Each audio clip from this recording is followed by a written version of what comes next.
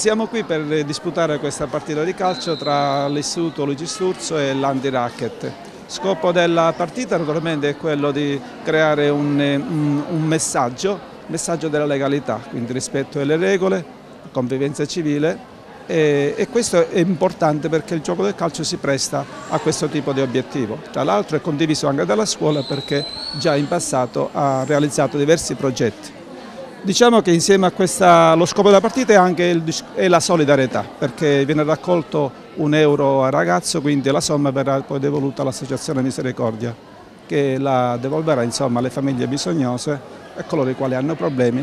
E quindi con, questo, con questo, questa partita raggiungiamo questi due scopi, solidarietà e il messaggio della legalità.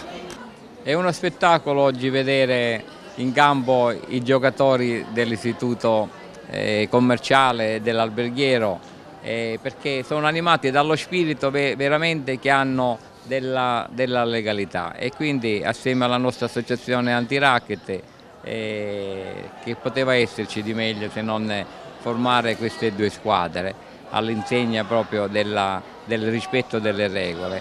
Quindi vediamo in campo i nostri giocatori, li sto vedendo onestamente un pochettino appesantiti, però devo dire che l'istituto commerciale l'istituto alberghiero hanno non solo ragazzi preparati, ragazzi veloci, certo giovani, ma anche i loro professori devo dire sono veramente sanno giocare.